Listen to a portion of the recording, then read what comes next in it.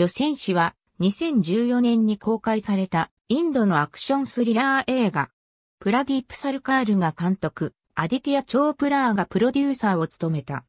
主要キャストには、ラーニー・ムカルジー、ジーシュ・セングプタ、ターヒル・ラージ・バシン、サーナンド・ベルマが起用されている。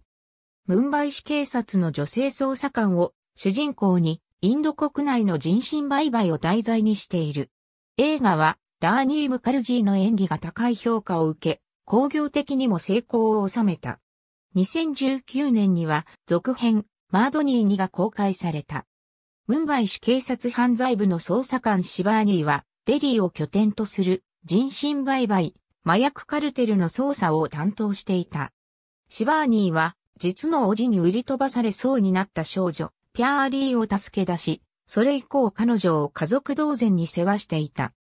そんな中、ピャーリーがカルテルに誘拐され、シバーニーは容疑者としてカティヤールを尋問するが、彼はカルテルに関する情報を話そうとはしなかった。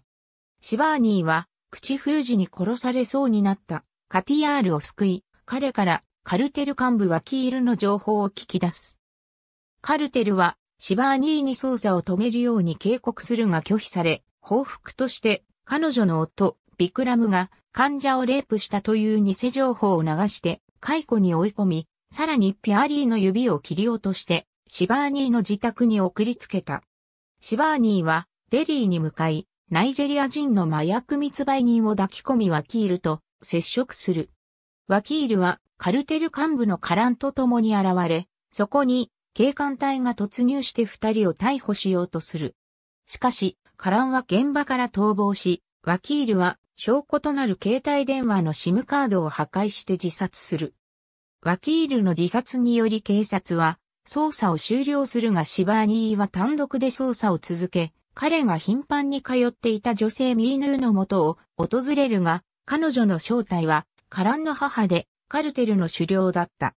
シバーニーはミーヌーに睡眠薬で眠らされ、ピャーリーたち誘拐された少女たちと共に富裕層向けのカルテルの秘密パーティーに連れ出され、売春を強要される。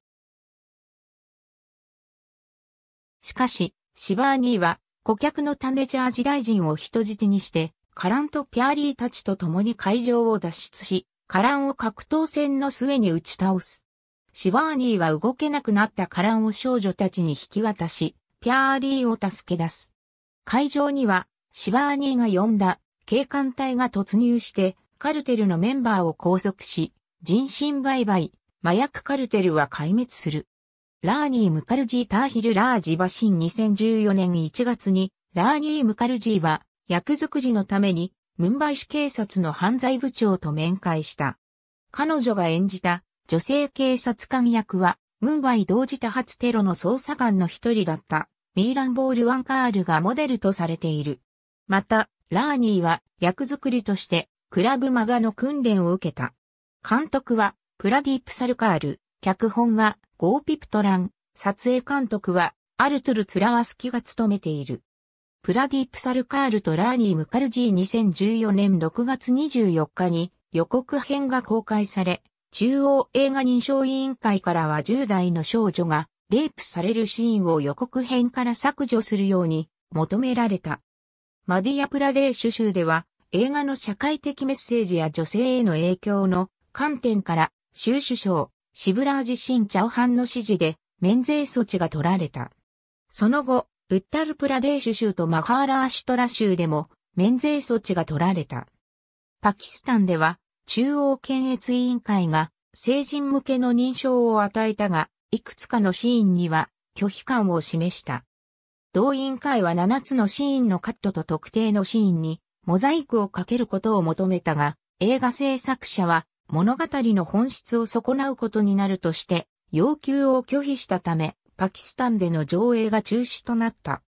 2015年1月29日からは、ポーランドワルシャーの木の村の和劇場で公開され、上映終了後は観客からスタンディングオベーションが起きた。ロッテントマトズには10件の批評が寄せられ、支持率70%となっている。ミッドデーは4、5の星を与え、ラーニー・ムカルジーを悪人を追い詰めることを諦めない。警察官として描き、現実的で説得力のある物語を作り出したと批評している。スバーシュ・ケイジャーは4、5の星を与え、映画音楽について、女戦士はノイズを取り除き、視覚と音の補完的関係において信頼性の高いデシベルを維持していると批評している。ボリウッドハンガマのタラン・アダルシュは人身売買組織を追い詰める警察官を演じるラーニーはキャラクターに必要とされる強さと品格を表現していますと批評している。2018年12月にヤシュラージフィルムズが続編マードニーニの制作を発表し、本作の脚本を手掛けたゴーピプトランが監督に起用された。2019年3月から撮影が行われ、12月13日に公開された。ありがとうございます。